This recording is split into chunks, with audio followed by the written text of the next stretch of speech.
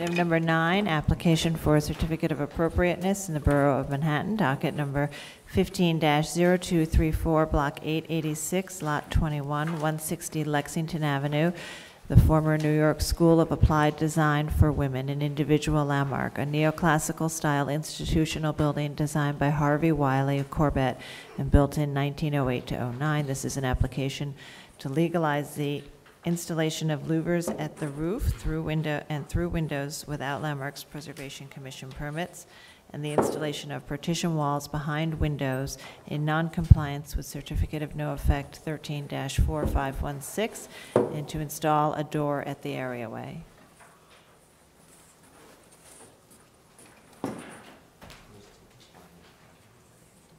Good morning, Kara So of Landmark Staff. 160 Lexington Avenue is an individual landmark building located on the corner of East 30th Street and Lexington Avenue.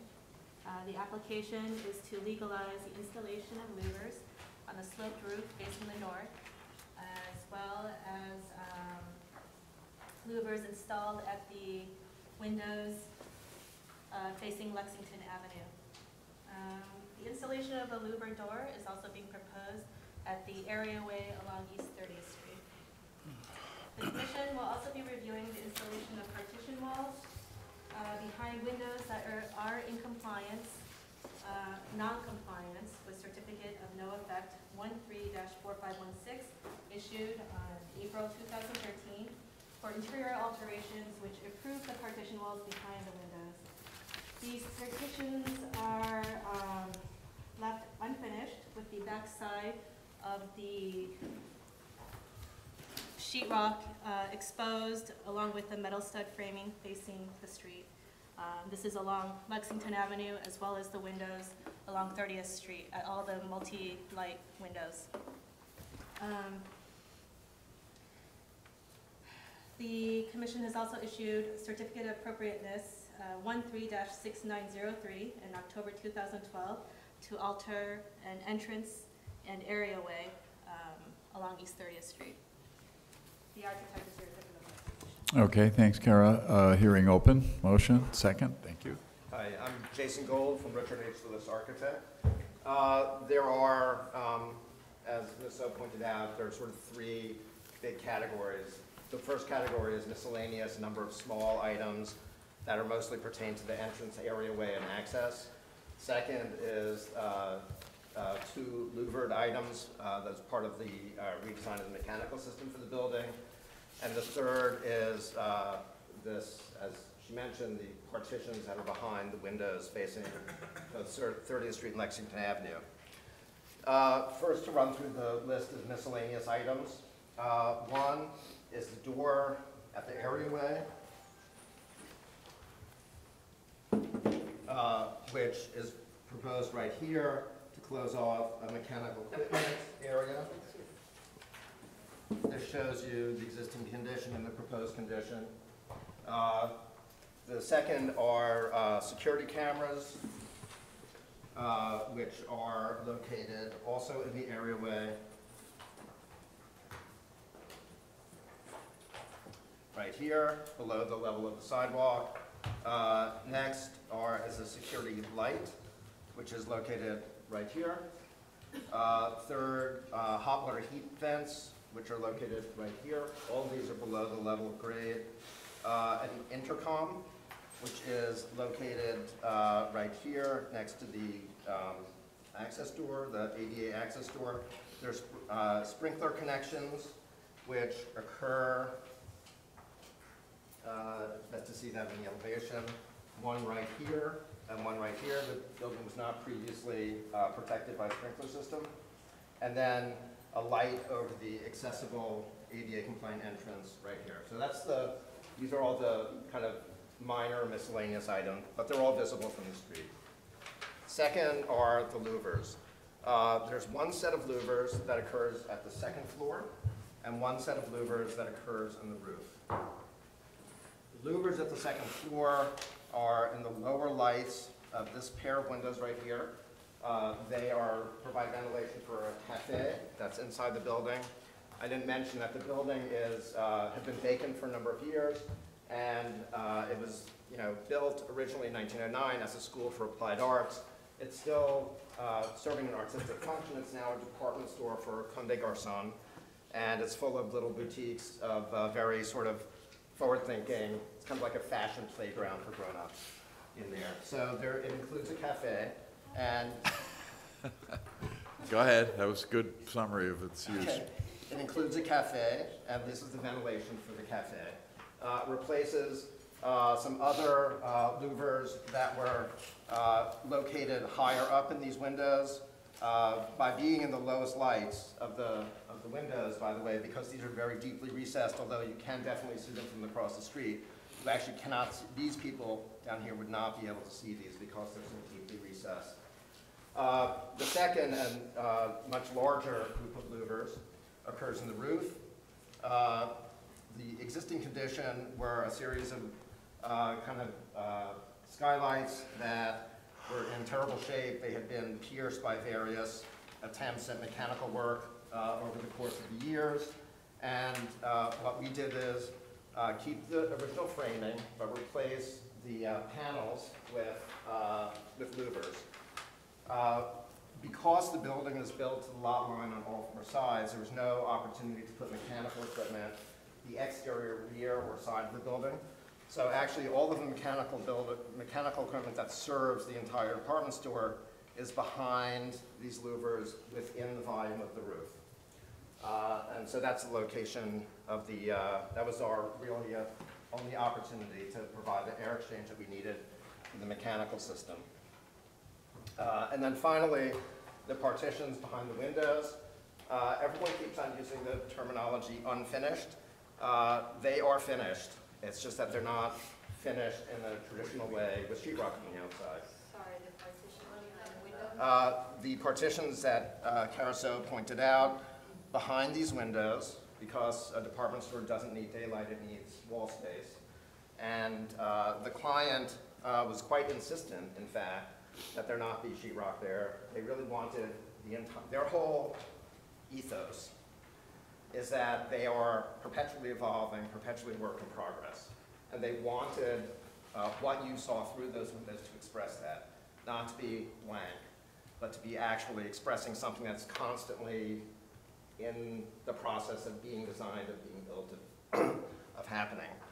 And, uh, and so they actually insisted that there not be sheet rock through these windows. Uh, These partitions are 12 inches behind the glass.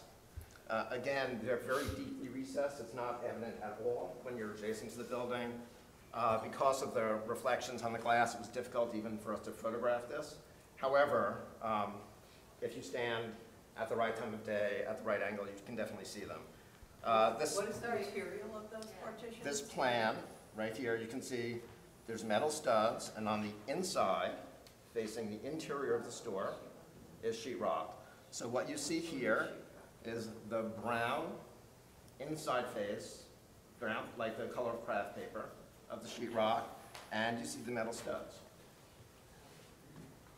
Okay. And that was, that's part of their ethos. Yes, But if it's work in progress, how can anyone know about it if it's facing the exterior? You actually see it from the exterior or not really? see what from the See the studs? Yes, you do see the studs see through the studs. glass, when the light is right, if you're standing in the right angle. And so it Okay. looks like, what, it it looks like. It, it looks, it looks like the ins, it looks like the inside of a partition that doesn't have, uh, that doesn't have sheet rock on it. And it's for, is, this is one floor, or is this? two? Uh, no, this is the full height of these two floors of windows on both street-facing elevations. So they all have sheet And also, actually, also these windows as well. But this is so not visible from, you would have to be a mile away to Mhm. be able to get the angle to see into those deeply recessed windows right there. So all of those windows on both sides have sheet rock on them? Yes, Against them, okay. well, not directly against them, the No, studs are what you 12 inches described, in. they- Yes, They're all the same uh, as that? yes, they are. Thank you.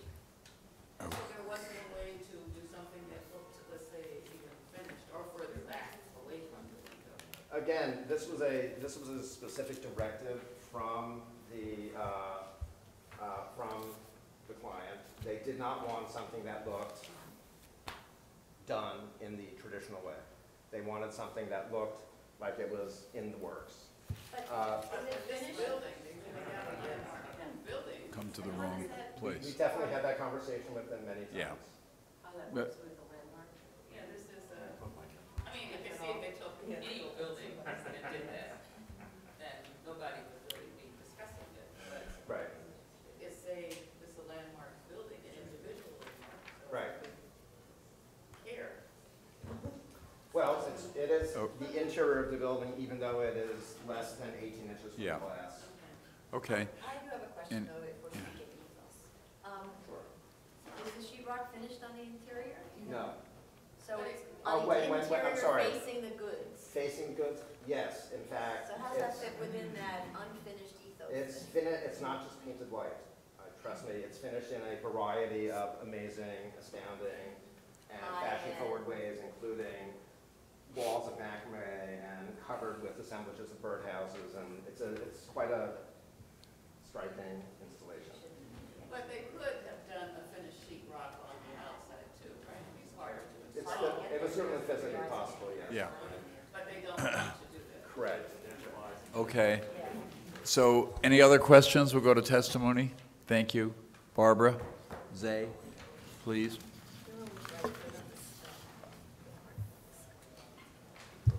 Barbara Zay of the Historic Districts Council. In general, HDC finds the installation of louvers on a pitched roof to be inappropriate, especially on a structure as elegant as this one. If the louvers are allowed to remain, though the practicality of non-vertical louvers seems problematic to us, HDC asks that they be better camouflaged to look more like skylights. The same goes for the louvers at the lower level of the Lexington Avenue facade. HDC finds the louvers and white panels inserted, inserted into the windows to be, an, to be a very visible intrusion. Thank you. Okay, and uh, Community Board Five, Marjorie, recommends approval of the application. Full board, thirty-six zero. Okay. Yes, the Yeah. explain the, the white, uh, painted louvers again. Uh, The panels on either side here are white. Um, I personally think they shouldn't be white. So I'm totally happy if you would force our client's hand on it. Done. Now we agree. Okay. Uh, Any other, anything you want to say about Well, the I mean, testimony? we, we had a really interesting conversation with the community board. Yeah. And we actually Yeah, to the sounds like community it. board twice. First for the miscellaneous items and the louvers, and then once Mm-hmm. uh, the preservation staff informed us that they wanted us to bring this issue to you all, we then went back to the uh, community board with that. And it was an incredibly interesting and engaging conversation, and ultimately, as you could see, Yeah. they were convinced. Okay, thank you. Uh, Let's see, I think maybe Marjorie will start this. I just want to know, how come I didn't know about this playground for adults before? Um, So, okay, so it's an individual landmark, and I'm not having so much problem with the idea of the louvers because they can be painted and they're, that's kind of a reversible condition, and ideally someday there'll be a better mechanical system. Um, But in terms of, um, and, and I think most of those, I think the little interventions, those little objects sort of scattered around, if they're painted the color of the, the masonry, would also be okay. It's actually the studs that I'm having trouble with. So um, I don't buy the ethos thing at all, um, because really, if there's ethos going on, it would be going on in the interior, and it's all decorated, so why don't we get decorated on the non-ethos side? So, um, and I think what the real issue now is that there's no physical way for your, uh, for a worker's body to fit into that little space, so you, they're really gonna have to take down the stud walls and move them back. And and I think that it needs to be treated in some way.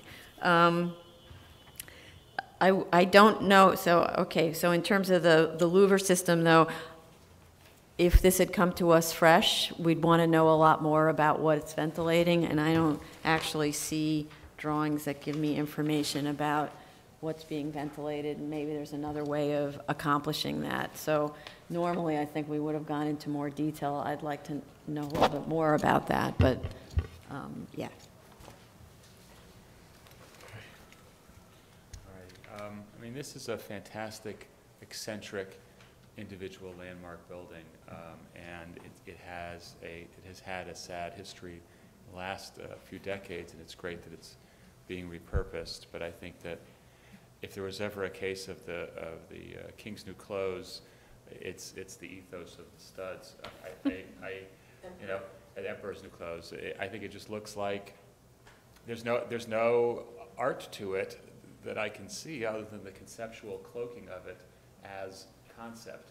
Uh, It would look just the same were it unintentional and unconceptual. So, you know, I'm just not buying it. And, and on an individual landmark, I think that, that such creative, conceptually thoughtful folks could certainly come up with something that would enhance the landmark building of their adult playground and uh, uh, make it, uh, uh, work with the landmark a little bit better.